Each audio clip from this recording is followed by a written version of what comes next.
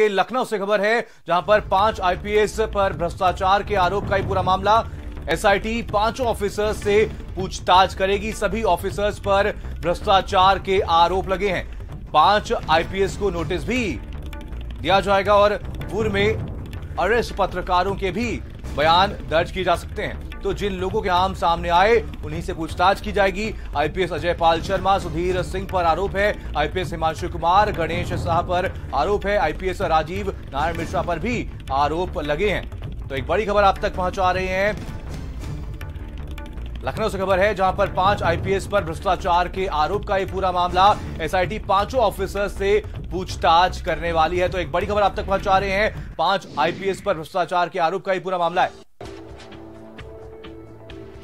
तो गंदगी का गेम ओवर हो चुका है। हिमांशु कुमार हटाए गए हैं। अजय पाल शर्मा भी हटा दिए गए। गणेश शाह को भी हटा दिया गया है। वहीं राजीव नारायण मिश्रा को भी अब हटा दिया गया है। तो सुधीर सिंह को भी हटा दिया गया है। लखनऊ से बड़ी खबर है, जहाँ पर पाँच आईपीएस पर भ्रष्टाचार के आरोप का पूरा मामला है और एसआईटी पाँचों ऑफिसर से पूछताछ करेगी। वीरेंद्र जी हमारे साथ हमारे स्टेट हेड जुड़ गए हैं। वीरेंद्र जी यहाँ पर बड़ी कार्रवाई की गई है। क्या कहेंगे आप इस पर? देखिए एसआईटी गठित हो चुकी है। जी। चंद अवस्थी की अध्यक्षता में जो डीजी विजिलेंस है और उनके साथ एक आईजी और एक आईएएस अफसर जाँच कर रहे हैं। वैभव कृष्णा से पिछले दिनों इसकी पूछताछ हुई है। अब एसआईटी उन पाँचों अफसरों को भी बुलाना चाहती है कि भाई जिनके ऊपर आरोप है वो अपनी सफ़ाई में क्या कहना चाहते हैं। जी। लेकिन कुल मिला के ये एक ऐसी गंदगी थी जिसने अपने लपेटे में पाँच आईपीएस अफसरों को लिया कई सारे और सरकारी कर्मचारियों को लिया पत्रकारों को लिया। जी। और वैभव कृष्णा ने जो मुकदमा लिखाया था वो मुकदमा फर्जी है कि सही है जो नोएडा में लिखाया गया जो वो वीडियो वायरल हुआ उसका हाँ। इन सब चीज़ों की एसआईटी जाँच कर रही है। जी। जो अधिकारी इसमें पाँच नाम आ रहे हैं हाँ। ये चाहते हैं कि ये जाँच जल्दी पूरी हो जी और दूध का दूध पानी का पानी हो इसको लेकर वो शासन में अधिकारियों से भी अपनी गुहार लगाए हुए हैं। हाँ। तो एसआईटी पर बहुत कुछ दारोमदार है कि उत्तर प्रदेश पुलिस में जो बहुत बड़ी गंदगी और भ्रष्टाचार के जो मामले आए हैं जिलों के बिकने के जी। इसकी स्थिति साफ़ हो जितनी जल्दी हो उतना बेहतर होगा क्योंकि जो लोग नाहक फंसे। हैं। जो। लोग बेकसूर हैं जिनके ऊपर झूठे आरोप हैं या सच्चे हैं इन सब की बात क्लियर होनी चाहिए और वो अपनी नौकरी भविष्य में इतमान से कर सके अपने बाल बच्चों परिवार के साथ वो अपना फेस दिखा सके वो। क्योंकि जितना गंभीर आरोप जिस तरह से लगे हैं ये सबको निजी रूप से और सर्विस के दृष्टिकोण से दोनों से बहुत नुकसानदायक है। अधिकारी परेशान है। हाँ। वो उम्मीद कर रहे हैं कि एसआईटी बहुत जल्दी इसमें सब क्लियरिटी हासिल करेगी। जी जी। चलिए, तमाम जानकारी के लिए बहुत बहुत धन्यवाद वीरेंद्र जी। और अब खबर दिल्ली से है, जहाँ पर उन्नाव गैंगरेप मामले से जुड़ी हुई खबर है। दिल्ली हाई कोर्ट से कुलदीप सिंगर को राहत मिली है। पीड़िता को मुआवजा चुकाने की मियाद अब बढ़ गई है। कोर्ट ने 60 दिन का सिंगर को समय दिया है। पीड़िता को 25 लाख रुपए मुआवजा देंगे सिंगर। आवेश हमारे साथ, हमारे संवाददाता और ज़्यादा जानकारी के लिए जुड़ गए हैं। आवेश, आज सुनवाई होनी थी, अहम दिन माना जा रहा था। सुनवाई के दौरान क्या कुछ दलील रखी गई? जी बिल्कुल आज दिल्ली हाई कोर्ट में उन्नाव रेप के इस मामले में कुलदीप सिंह सेंगर ने अपनी सजा के खिलाफ जो उम्र कैद की सजा मिली उसको चुनौती दी थी हाँ। और ये भी मांग की थी कि जो उनको 25 लाख मुआवजा देने की मियाद तय की गई थी एक महीने की उसको भी बढ़ा दिया जाए तो दिल्ली हाई कोर्ट ने 60 दिन का समय दिया है और 60 दिन और जो है मियाद उसको बढ़ा दिया है। कि पच्चीस हज़ार का जो मुआवजा देना है और उसकी म्याद जो है वो साठ दिन बढ़ा दी उसके अलावा दिल्ली हाई कोर्ट ने सजा के ऊपर रोक लगाने से इनकार कर दिया और इस मामले में सीबीआई को जो है वो नोटिस जारी किया है और मामले की अगली सुनवाई फिर होगी अब। अवैश क्या इसे एक बड़ी राहत माना जाए कुलदीप सिंह सेंगर के लिए? जी ये बड़ी राहत तो नहीं कहा जा सकता क्योंकि सिर्फ़ जो पैसे उनको मुआवजे के तौर पे जमा करने थे उसमें से डील हाँ। हुई है मगर जो उम्र कैद की सजा थी हाँ। उसके ऊपर रोक लगाने से दिल्ली हाईकोर्ट ने साफ़ तौर पर इनकार कर दिया है तो ये कहा जाए की सजा में तो राहत नहीं है मगर जो मुआवजा उनको भरना था पच्चीस लाख रुपए का उसमें थोड़ी सी रियायत जो है वो दे दी गई अब साठ दिन का समय दे दिया गया पहले ये तीस हज़ार कोर्ट ने जब फैसला सुनाया था तो कहा था कि एक महीने के अंदर जो है वो पच्चीस लाख रुपए इनको जमा करने होंगे मुआवजे के तौर पे जिसमें से पीड़िता को कुछ पैसा जाएगा और कुछ पैसा जो है पब्लिक प्रोसिक्यूटर यानी सरकारी वकील को जाएगा क्योंकि उन लोगों ने बहुत ज़्यादा मेहनत की इस मामले में। तो फ़िलहाल रोक सजा के ऊपर रोक लगाने से दिल्ली हाईकोर्ट ने मना किया है तो एक झटका ही कहा जाएगा इसको। मगर थोड़ी सी राहत यह है कि उनको मुआवजे के लिए जो रकम चुकानी थी उसमें थोड़ी सी दिन जो है थोड़ी सी म्याद जो है उसकी बढ़ा दी साठ दिन की म्याद वो जो जो। तीस दिन की मैच उसको साठ दिन कर दिया गया है। मतलब ऐस बने रहिए आपसे अपडेट लेते रहेंगे। दिल्ली से खबर है जहाँ पर चिन्मयानंद रेप मामले में सुप्रीम कोर्ट में आज सुनवाई टल गई। कोर्ट 22 फरवरी को केस में सुनवाई करेगा। तो इलाहाबाद हाई कोर्ट के फैसले के खिलाफ याचिका दाखिल की गई थी। पीड़ित छात्रा की याचिका पर अब फरवरी में 22 फरवरी को सुनवाई होगी। अवैश जुड़ गए हैं। अवैश क्या कुछ वजह रही जिसकी वजह से सुनवाई को टाला गया? सुप्रीम कोर्ट में जैसे ही ये मामला आया सुप्रीम कोर्ट ने कहा कि we are simply adjourned this matter यानी कुछ ना बहस हुई ना कोई दलील रखी गई और सुप्रीम कोर्ट ने इस मामले की सुनवाई जो है वो टाल दी और मामले की सुनवाई जो अब फरवरी में जो है तारीख बताई है फरवरी में बाईस फरवरी को इस मामले में सुनवाई की चिन्मयानंद जो पीड़िता थी इस मामले में उसका बयान दर्ज होता है एक के तहत जिसको इलाहाबाद हाईकोर्ट ने कहा था कि वो बयान जो है चिन्मयानंद को दे दिया जाए। उसके खिलाफ पीड़िता सुप्रीम कोर्ट आई थी जिसके पर आज सुनवाई होनी थी मगर आज सुनवाई सुप्रीम कोर्ट में टल गई अब इस मामले में सुनवाई फरवरी में होगी। अब सबसे जानना चाहेंगे पीड़िता की आगे क्या कुछ रणनीति होगी इसको लेकर के फिर? देखिए सुप्रीम कोर्ट ने इस मामले में स्टे तो लगा दिया था। पहले ही जब पहले दिन सुनवाई हुई थी इस मामले में स्टे लगाया था और उत्तर प्रदेश सरकार को नोटिस जारी कर जवाब मांगा था। तो नोटिस उत्तर प्रदेश सरकार ने दा, दाखिल कर दिया है। इस हाँ। मामले में आज सुनवाई होनी चाहिए। देखना यही था कि आज सुप्रीम कोर्ट क्या पूर्ण रूप से स्टे लगाता है या याचिका का निपटारा कर देता है या कुछ और दलील जो उत्तर प्रदेश सरकार या पीड़िता की तरफ़ से रखी जाएगी। मगर इस मामले में आज सुनवाई नहीं हो सकी और सुप्रीम कोर्ट ने सिंपली एडजेंट जो है इस मामले को कर दिया। अब मामले की सुनवाई बाईस फरवरी को होगी। बने रहिए आपसे अपडेट लेते रहेंगे। वहीं अब्दुल्ला आज़म की याचिका का पूरा मामला है। याचिकाकर्ता काजिम खान को नोटिस जारी किया गया। सुप्रीम कोर्ट ने नोटिस जारी किया है। सुप्रीम कोर्ट 25 मार्च को अब सुनवाई करेगा। इलाहाबाद हाई कोर्ट के फैसले को चुनौती दी गई थी। अब्दुल्ला आज़म ने फैसले को चुनौती दी है और हाई कोर्ट ने विधायकी रद्द कर दी थी। अवैश हमारे साथ जुड़े हुए अवैश क्या कुछ जानकारी पूरे मामले पर? जी बिल्कुल एक बहुत अहम मामला था विधायकी से जुड़ा हुआ जिसमें अब्दुल्ला आज़म की विधायकी रद्द करने का फैसला इलाहाबाद हाई कोर्ट ने दिया था। उस फैसले को अब्दुल्ला आज़म खान जो है वो सुप्रीम कोर्ट में चुनौती दी थी और उस फैसले पर रोक लगाने की मांग की थी। तो फ़िलहाल एक बड़ा झटका अब्दुल्ला आज़म खान को लगा है क्योंकि सुप्रीम कोर्ट ने इलाहाबाद हाईकोर्ट के फैसले पर रोक लगाने से इनकार कर दिया है। इसके अलावा जो बसपा के पूर्व विधायक हैं जिन्होंने अब्दुल्ला के खिलाफ इलेक्शन लड़ा था। उनको जो है नोटिस जारी कर जवाब मांगा है इस मामले में। अब जानना चाहेंगे इस पूरे मामले पर आगे सुनवाई कब होगी? जी इस मामले में 25 मार्च को अब सुनवाई होनी है। सुप्रीम कोर्ट ने 25 मार्च की तारीख तय की है और अब्दुल्ला आज़म खान के ने जो याचिका दाखिल की थी। उसके ऊपर इलाहाबाद हाईकोर्ट के फैसले के ऊपर जो रोक लगाने की मांग की थी उसके ऊपर रोक लगाने से इनकार कर दिया है। हाँ। और जो पूर्व विधायक थे जिन्होंने अब्दुल्ला आज़म खान के खिलाफ इलेक्शन लड़ा था उनको नोटिस जारी किया उनको जवाब देना होगा। चार हफ़्ते का समय भी दिया गया है और इस मामले में पच्चीस मार्च को अब इस मामले में सुनवाई होगी। तो तमाम जानकारी के लिए बहुत बहुत धन्यवाद अवैस। और अब खबर जालौन से है जहाँ पर शराबियों के बीच सड़क पर हाई वोल्टेज ड्रामा देखने को मिला है। आपस में जमकर के लात घुसे चले और जूते भी चले हैं। बीच सड़क पर शराबियों ने जमकर हंगामा काटा है। मारपीट का लाइव वीडियो कैमरे में कैद हुआ है। मधौगढ़ कोतवाली के बंगरा का ये पूरा मामला, जहाँ पर बीच सड़क पर शराबी हंगामा करते हुए नज़र आए। जालौन की ये तस्वीरें, जहाँ पर शराबियों के बीच सड़क पर हाई वोल्टेज ड्रामा देखने को मिला। तस्वीरें आपके सामने, जहाँ पर मारपीट करते हुए शराबी नज़र आ रहे हैं। तो एक्सक्लूसिव तस्वीरें भारत समाचार आप तक पहुँचा रहे हैं, जहाँ पर आपस में जमकर लात घूसे और जूते चलाते हुए शराबी नज़र आ रहे हैं। जालौन की तस्वीरें, जहाँ पर बीच सड़क पर शराबियों ने जमकर हंगामा काटा है। और मारपीट का लाइव वीडियो कैमरे में कैद हुआ? है तो माधवगढ़ कोतवाली के बंगरा का ये पूरा मामला।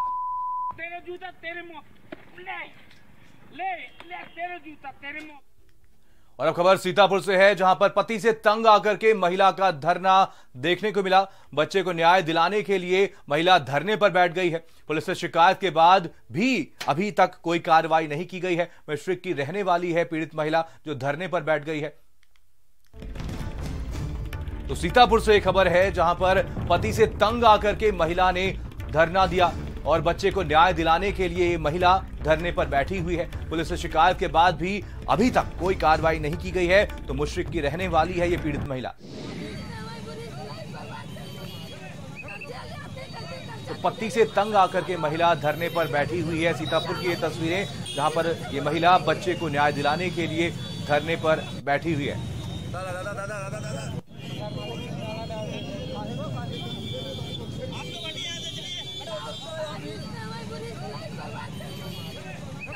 बसंत हमारे साथ, हमारे संवाददाता जुड़ गए हैं। बसंत कौन है ये महिला और क्या कुछ आरोप इसने पति के ऊपर लगाए हैं? देखिए, मैं आपको बता दूँ, माहौल मित्री कोतवाली की रहने वाली महिला है और इसका पति जो है, इससे लव मैरिज किया था। उसके बाद कुछ दिन इसके साथ रहा, फिर उसको और इसके बच्चों को मारने पीटने लगा, क्योंकि पत्नी का ये भी आरोप है कि वो किसी दूसरी महिला के चक्कर में आए दिन उसको प्रताड़ित करता था। हालाँकि स्थानीय पुलिस स्टेशन पर महिला ने कई बार शिकायत की थी पति की लेकिन कोई कार्रवाई नहीं हुई। उससे तंग आकर के महिला लालबाग चौराहे पर बैठी और उसका कहना है जब तक उसके बच्चे को न्याय नहीं मिलेगा वो यहाँ से नहीं हटेगी। हालाँकि फ़िलहाल वहाँ पर मौके पर पहुँच करके जो स्थानीय महिला थाना की महिला कोतवाल है वो पहुँची है और महिला को समझाने बुझाने में लगी हूँ की जल्द से जल्द उसको न्याय दिलाने की बात कह रहे जी। जी तमाम जानकारी के लिए बहुत बहुत धन्यवाद बसंत। वाराणसी से खबर है, जहाँ पर काशी हिंदू विश्वविद्यालय में छात्रों का आंदोलन देखने को मिला। कुलपति के सामने छात्रों ने जम करके प्रदर्शन किया। तो वाराणसी से खबर, काशी हिंदू विश्वविद्यालय में छात्रों का आंदोलन आंदोलन जारी है और कुलपति के सामने ही छात्रों ने प्रदर्शन किया। कुलपति के सामने छात्रों ने पोस्टर लहराए हैं तो हिंदी भाषा की अनदेखी पर विरोध करते हुए छात्र नज़र आए। तो हिंदी भाषीय छात्रों से भेदभाव का भी इन छात्रों ने आरोप लगाया है। तो वाराणसी की ये तस्वीरें, जहाँ पर काशी हिंदू विश्वविद्यालय में छात्रों ने आंदोलन किया, कुलपति के सामने ही ये आंदोलन किया गया। और अब खबर कानपुर देहात से है, जहाँ पर सिपाही ने खुद को गोली से उड़ा दिया। संदिग्ध परिस्थितियों में सिपाही ने खुद को गोली मारी है जैनपुर चौकी में तैनात था सिपाही सनी कुमार, देर रात चौकी में ही सरकारी राइफल से इसने गोली मार ली। तो अधिकारियों ने सिपाही को भर्ती कराया था। सिपाही को गंभीर हालत में हेलेट रेफर किया गया।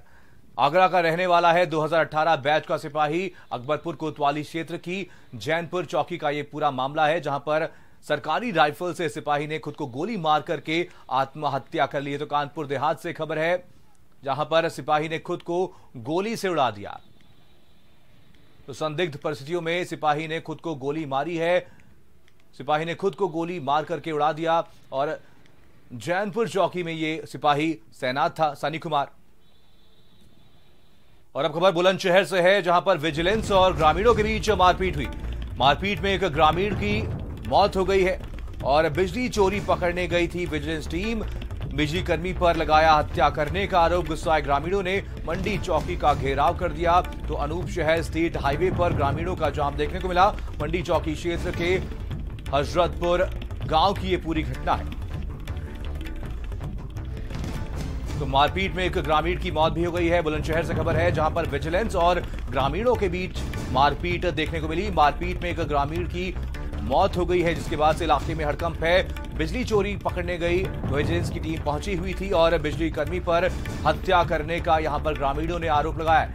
तो गुस्साए ग्रामीणों ने मंडी चौकी को भी घेर लिया। अनूप शहर सेठ हाईवे पर ग्रामीणों का जाम लगा हुआ है। मंडी चौकी क्षेत्र के हजरतपुर गाँव का ये पूरा मामला है। मनोज, हमारे साथ हमारे संवाददाता जुड़ गए। मनोज, ये पूरा मामला क्या है? ये बता दें मामला कोतवाली देहात के गाँव हजरतपुर का है जहाँ बिजली लाइन की टीम चेकिंग के लिए आई थी। चेकिंग के दौरान बिजली लाइन और ग्रामीणों में धक्का मुक्की हो गई। ग्रामीणों का कहना है कि एक युवक के जो धक्का मारकर उसका सिर दीवार में लग गया उसकी मौके पर मौत हो गई है। हाँ। और मौत के बाद ग्रामीणों ने हाईवे स्टेट हाईवे को जाम कर रखा है चौकी का घेराव कर रखा है। जी। जी मनोज जानना चाहेंगे पुलिस की तरफ़ से पूरे मामले पर कार्रवाई क्या की जा रही है आगे? जी बता दें पुलिस जाँच में जुट गई है और उन्हें समझाने की कोशिश कर रही है। जाम खुलवाने की भी कोशिश कर रही है लेकिन अभी तक ग्रामीण अपनी बात पर डटे हुए हैं। जी। जी मनोज आपसे जानना चाहेंगे विजिलेंस के अधिकारियों से क्या आपने बात करने की कोशिश की क्या कुछ कहना उनका? बिजली लाइन का कहना है कि हमारा ऐसा कोई झगड़ा नहीं हुआ है। हाँ। ये ग्रामीण आरोप लगा रहे हैं और पुलिस का भी ये कहना है आला अधिकारी हैं कह रहे हैं कि अभी हम जाँच कर रहे हैं जाँच के बाद जो। भी होगा वो कड़ी कार्रवाई की जाएगी। तमाम जानकारी के लिए बहुत बहुत धन्यवाद मनोज। और वहीं सोलह फरुखाबाद महोत्सव में प्रतिभागियों ने ताज हासिल करने के लिए जमकर हंगामा किया। महिला प्रतिभागी ने महोत्सव प्रशासन पर कुछ गंभीर आरोप लगाए हैं और जमकर के हंगामा किया। इतना ही नहीं, युवती वहीं पर धरने पर भी बैठ गई।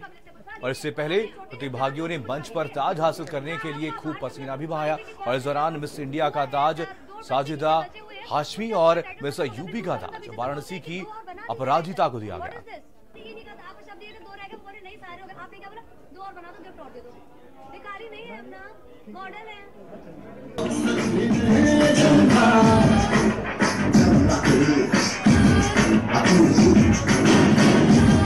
ज़ोर लगा के सोचते हैं कि क्या हम कर लेंगे और उसे करने निकलते हैं। बता दिया क्या बताऊँ? सारी लड़कियों को बुलाई पब्लिक से पूछवा लीजिए पब्लिक छोटी से चार लोग से पूछवा लीजिए चार लोग को बाहर से पूछवा लीजिए कि कौन से क्या था।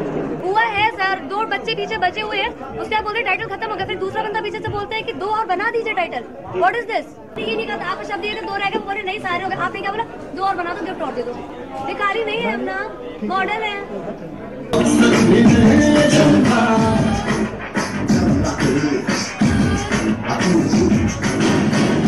और ज़ोर लगा के सोचते हैं कि क्या हम कर लेंगे और उसे करने निकलते हैं। बता दिया क्या बताऊँ सारी लड़कियों को बुलाई पब्लिक से पूछवा लीजिए छोटी चलो बढ़ेंगे हमारी अगली खबर की तरफ़। कन्नौज बस में जलकर हुई मौतों का ये पूरा मामला है जहाँ पर छह लोगों के परिजनों ने डीएनए सैंपल दिए हैं। सभी के सैंपल लखनऊ भेजे जाएँगे और 10 जनवरी को छिबरामऊ में एक बड़ा सड़क हादसा देखने को मिला था जहाँ पर कई लोगों की इस हादसे में मौत हो गई थी। ट्रक के टक्कर के बाद बस में भीषण आग लग गई थी और हादसे में कई लोगों की मौत हो गई थी। अभी लोग कन्नौज में बस हादसे में दर्जनों लोगों की मौत को भूल भी नहीं पाएँगे, पाए होंगे, लेकिन उत्तर प्रदेश परिवहन निगम अभी भी इतना बड़ा हादसा होने के बाद चेता नहीं है।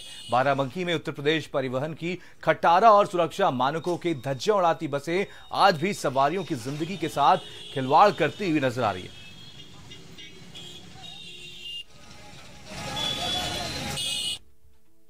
हम यहाँ खड़े बाराबंकी के बस अड्डे पर और हम यहाँ देखेंगे कि किस तरह से यहाँ जो बस है, इसमें किस तरह सुरक्षा व्यवस्था है, सुरक्षा व्यवस्था के मानक पूरे किए गए हैं कि नहीं? हम यहाँ इस बस के ऊपर आ रहे हैं। यहाँ चालक के बिल्कुल पीछे एक सिलेंडर होता है, वो लगा होना चाहिए, जो कि यहाँ से नदारत है। यहाँ नहीं है। अचानक अगर कोई दुर्घटना होती तो उसकी बड़ी भूमिका होती है आग लगने पर। फ़र्स्ट एड बॉक्स भी है यहाँ पर। हम देखेंगे कि फ़र्स्ट एड बॉक्स में क्या सुविधाएँ हैं यात्रियों के लिए। ये देखिए फ़र्स्ट एड बॉक्स पूरी तरह से ये खाली है। इसमें ना तो किसी तरह की मरम पट्टी का इलाज है ना ही किसी तरह की ऐसी कोई चीज़ है जिससे यात्रियों की सुरक्षा हो सके। यहाँ दूर दराज से जो यात्री आते हैं जो अपनी ये देखिए ये हमारे साथ है वही। इस ये यहाँ पर ये बताइए कि ये जो यहाँ पर फ़र्स्ट एड की सुविधा नहीं है आपको नहीं लगता कि कभी कुछ दुर्घटना हो तो हाँ इसका होना चाहिए। तो यहाँ पर सिलेंडर भी नहीं है गैस का। ये देखिए, और ये पीछे हम देखते हैं, यहाँ एग्जिट भी नहीं है। यहाँ एक एग्जिट होना चाहिए जो अचानक अगर बस कभी गिरती है या बस कभी लड़ती है तो यहाँ पर एक एग्जिट होना चाहिए। वो भी इस बस में नहीं है। इस तरह से परिवहन विभाग द्वारा सुरक्षा मानकों का बिल्कुल तरह से मखौड़ उड़ाया गया है, और यहाँ पर इतनी बड़ी दुर्घटना होने के बाद अभी भी परिवहन विभाग अभी चेता नहीं है, अपनी गलतियों को सुधारने की परिवहन विभाग को कोई चिंता नहीं है। दीपक निर्भय, भारत समाचार, बाराबंकी। तो बाराबंकी से तस्वीरें हैं, जहाँ पर बस में फायर सेफ्टी सिलेंडर्स भी यहाँ पर मौजूद नहीं है और काफ़ी बसों में यहाँ पर आपातकालीन खिड़की भी नहीं पाई गई। तो आपको बता दें कि भारत समाचार की टीम यहाँ पर पहुँची ग्राउंड रिपोर्ट लेने के लिए, जहाँ पर सवारियों की ज़िंदगी के साथ बाराबंकी में खिलवाड़ किया जा रहा है। मानकों पर खड़े न उतरने के बावजूद इन सड़- इन बसों को सड़कों पर उतार दिया जाता है और यात्रियों की ज़िंदगी के साथ खिलवाड़ किया जाता है।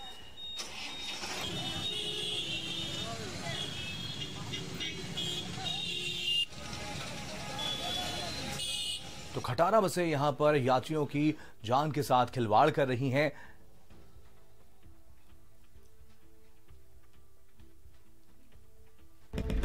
दिल्ली से खबर है, जहाँ पर निर्भया केस से जुड़ी बड़ी खबर सामने आ रही है। मुकेश की दया याचिका खारिज कर दी गई। सूत्रों के हवाले से एक बहुत बड़ी खबर है, मुकेश की दया याचिका जो कि राष्ट्रपति के पास लंबित पड़ी हुई थी, इसे खारिज कर दिया गया है। राष्ट्रपति ने दया याचिका को खारिज कर दिया है सूत्रों के हवाले से एक बड़ी खबर।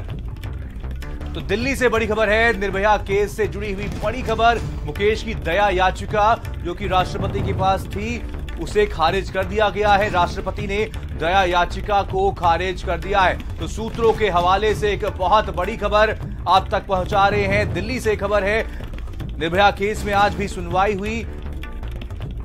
तो मुकेश की दया याचिका राष्ट्रपति ने खारिज कर दी है सूत्रों के हवाले से। एक बड़ी खबर आप तक पहुँचा रहे हैं। तो दिल्ली से बड़ी खबर है, जहाँ पर निर्भया से जुड़ी हुई बड़ी खबर।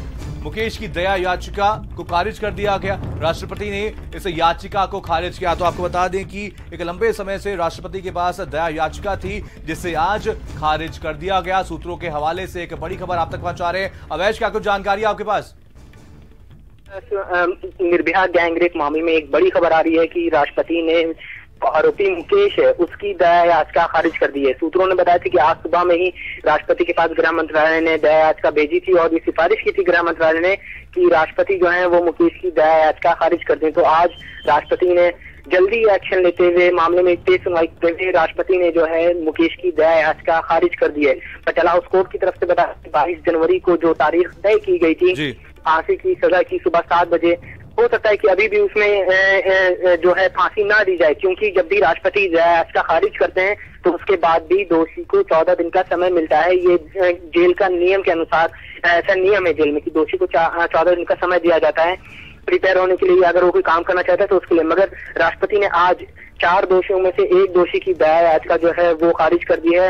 मुकेश ने दया याचिका दाखिल की थी। उसने पटेला हाउस कोर्ट में भी याचिका लगाई थी और ये कहा था कि अभी मेरी फांसी की सजा के ऊपर स्टे लगा देना चाहिए क्योंकि मेरी दया याचिका राष्ट्रपति के पास पेंडिंग है। तो उस मामले में आज साढ़े तीन बजे सुनवाई भी होनी है, मगर आज राष्ट्रपति ने निर्भया मामले में जो दोषी मुकेश है, उसकी दया याचिका खारिज कर दी है। और अब ये देखना होगा कि कितने दिन बाद और कितना समय लगता है मुकेश निर्भया मामले में जो दोषी हैं, उनको फांसी पे चढ़ाने के लिए। दिवेश लगातार देखा जा रहा है कि जो वकील हैं, दोषियों के जो वकील हैं, एक लंबे समय से फांसी को टालने की कोशिश भी कर रहे हैं। तो आपको क्या लगता है कि जो राष्ट्रपति ने याचिका खारिज की है, उसके बाद जो 22 तारीख को फांसी दी जानी थी, उसकी डेट अब और आगे बढ़ दी, बढ़ा दी जाएगी? जी, बिल्कुल ज़ाहिर सी बात है, जब भी राष्ट्रपति याचिका खारिज करते हैं तो उसके बाद चौदह दिन का समय जो है, वो दोषी को मिलता है। तो उस हिसाब से अगर देखा जाए जो रूल है तो अभी बाईस जनवरी को फांसी होती संभव नज़र नहीं आ रही। तो ज़ाहिर सी बात है कि सजा की तारीख जो है, वो आगे बढ़ा दी जाएगी। हाँ चलिए, तमाम जानकारी के लिए बहुत बहुत धन्यवाद, अवैश। और वहीं यूपी में तीन दिन से हो रही लगातार बारिश ने जनजीवन अस्त व्यस्त कर दिया है। लगातार हो रही बारिश और ओलों से किसानों की फ़सलें भी बर्बाद हो गई हैं। हम आपको पाँच तस्वीरें दिखा रहे हैं, कैसे बारिश का कहर लगातार यूपी में जारी है। ललितपुर, गोंडा, कन्नौज, दिल्ली, बाराबंकी की ये तस्वीरें, जहाँ पर लगभग तस्वीरें एक जैसी आपको बता दें कि यूपी के कई जिलों में लगातार रुक रुक कर बारिश हो रही है। और वहीं गोंडा में पिछले 36 घंटों में मूसलाधार बारिश हो रही है। गरज चमक के साथ कई जगहों पर आकाशीय बिजली गिरने से कई ट्रांसफार्मर में भी आग लगी है। तो तार टूटने से कई इलाकों की बिजली भी गुल हो गई। पिछले 36 घंटों से ज़िले में रुक रुक कर हो रही बरसात ने पूरी तरीके से जनजीवन को अस्त व्यस्त कर दिया है। जहाँ भी देखिए, वहाँ पानी भरा हुआ है। इस पारी से जहाँ पे गेहूँ की फ़सलों को फ़ायदा होगा तो वहीं आलू मटर, सरसों जैसी तमाम दलहनी फ़सलों को भारी नुकसान का अंदेशा है। इस समय हम आए हुए हैं इस आरटीओ कार्यालय में, जहाँ आप देख सकते हैं कि मेरे चारों तरफ़ यहाँ पे पानी भरा हुआ है। आरटीओ परिसर की जो सड़कें हैं, वो पूरी तरीके से पानी में लबालब हो गई हैं। ये यहाँ पे ट्रेनिंग ग्राउंड है, जहाँ पे पानी पूरी तरीके से भरा हुआ है। केवल आरटीओ कार्यालय ही ऐसा नहीं है जहाँ पानी भरा हुआ है, बल्कि छत्तीस घंटों से रुक रुक कर हो रही बरसात से। कलेक्ट्रेट परिसर हो, चाहे दीवानी परिसर हो, चाहे पूरा शहर हो, हर जगह केवल पानी ही पानी दिखाई दे रहा है। नगर पालिका की सफ़ाई व्यवस्था की पूरी तरीके से पोल खुली हुई है। नाले चौक चल रहे हैं नालियाँ चौक चल रही हैं जिससे लोगों को खासी दिक्कतें उठानी पड़ रही हैं। राजेश तिवारी भारत समाचार गोंडा। बात करें गोरखपुर की तो यहाँ पर भी लगातार बारिश हो रही है। बेमौसम बरसात से जनजीवन अस्त व्यस्त हो चुका है। कड़ाके की सर्दी से पारा नीचे आ गया है और ठंड और ठिठुरन लोगों को परेशान कर रही है। बेमौसम की बरसात ने लोगों का जीवन अस्त व्यस्त कर दिया। आप देख सकते हैं मेरे पीछे देर रात से ही बारिश लगातार हो रही है। तो दस बजने के करीब होने वाले हैं लेकिन आप देख सकते सड़कें बिल्कुल सूनी पड़ी हुई है। बरसात से किस तरह की परेशानी हो रही है? बहुत परेशानी हो रही है बहुत ज़्यादा ठंड बढ़ गया है इससे बहुत मतलब परेशानी हर जगह पानी पानी हो गया है। तो इन लोगों का साफ़ कहना है कि बरसात से काफ़ी नुकसान हो रहा है जो फ़सलें तो नुकसान हो रही है जीवन अस्त व्यस्त हो गया है। साथ साथ कड़ाके की ठंड से घर में कह कैदियों के कुल मिला के बेमौसम की हो रही बरसात से लोगों का जो सारा जो जो जीवन है अस्त व्यस्त हो गया है दिनचर्या खराब हो गई है और कड़ाके की ठंड के नाते लोग घरों में दुपकने के लिए मजबूर हो गए हैं। कर्मसोग्राफी के साथ विकास शाही भारत समाचार गोरखपुर। और वहीं संगम नगरी प्रयागराज में भी मौसम का मिजाज बदला हुआ है। सुबह से रुक रुक कर हो रही बारिश से ठंड बढ़ गई है। जायजा लिया हमारे संवाददाता धीरेन्द्र द्विवेदी ने। प्रयागराज में मौसम का मिजाज बिगड़ चुका है। रात से ही आसमान में बादल छाए हुए हैं बूंदाबांदी हो रही है और सुबह बारिश हुई है और सबसे ज़्यादा जो दिक्कत आ रही है, संगम की रेती पर लगे माघ मेले में जो लोग कल बास करने के लिए आए हुए हैं उनको दिक्कत हो रही है और बारिश और हवाओं के साथ ठंड भी बढ़ गई है।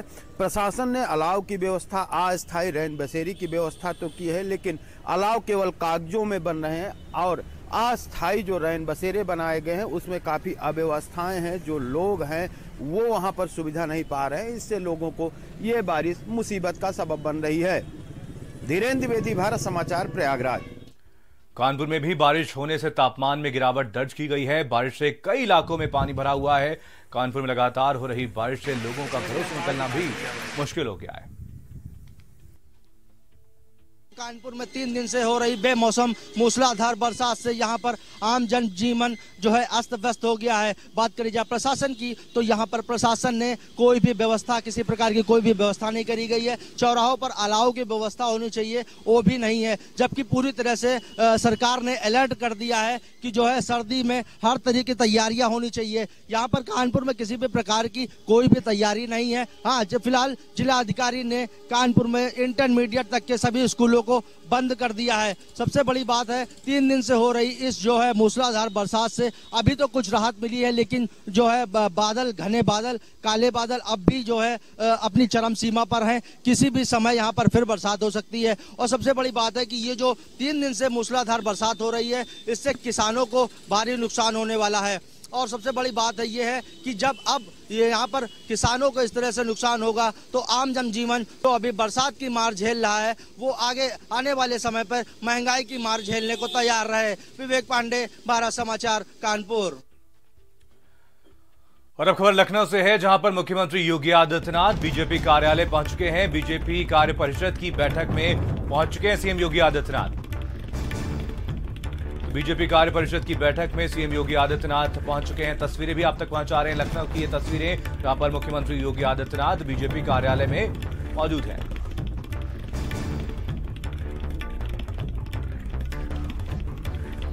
सीमाब हमारे साथ हमारे संवाददाता जुड़ गए हैं। सीमाब क्या कुछ जानकारी आपके पास? कितने बजे बैठक शुरू होने वाली है?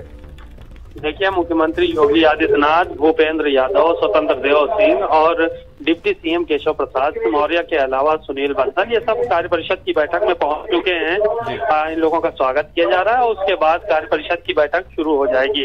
हाँ। आपको बताना चाहेंगे कि कल जिस तरह से जो है प्रदेश अध्यक्ष के लिए नामांकन हुआ था हाँ। उसमें सिर्फ़ स्वतंत्र देव सिंह ने नामांकन किया था प्रदेश में और आज उनकी घोषणा होनी है औपचारिक घोषणा होनी है। भूपेंद्र यादव जो की राष्ट्रीय महामंत्री भी हैं भारतीय जनता पार्टी के वो घोषणा करेंगे हम्म। इस बैठक में सभी पदाधिकारी मौजूद हैं और थोड़ी देर में औपचारिक घोषणा स्वतंत्र देव सिंह के अध्यक्ष बनने की होने जा रही है जी जी हम जानना चाहेंगे इस घोषणा के अलावा और क्या कुछ खास होने वाला है इस बैठक में देखिए अब ये कार्यक्रम जो है वो शुरू हो रहा है इसमें भारतीय जनता पार्टी को किस प्रकार किस तरह से उत्तर प्रदेश में जो है वो आगे बढ़ाया जाए हम्म। और इसके साथ संगठन को कैसे मज़बूत किया जाए इन। सब चीज़ों पर चर्चा होगी क्योंकि प्रदेश अध्यक्ष का दायित्व तो एक बहुत बड़ा दायित्व तो होता है। और आ, उसको स्वतंत्र देव सिंह ने बखूबी जो है वो पिछले कार्यकाल में निभाया। अब तीन साल के लिए वो फिर से प्रदेश अध्यक्ष बनाए गए हैं। तो किस तरह से भारतीय जनता पार्टी को आगे बढ़ाना है कैसे जो है वो संगठन को मज़बूत करना है इन सब चीज़ों पे आज चर्चा होगी। और उत्तर प्रदेश में चलिए तमाम जानकारी के लिए बहुत बहुत धन्यवाद। सीमा और इसी के साथ इस बुलेटिन में बस इतना ही। देखते रहिए भारत समाचार। नमस्कार।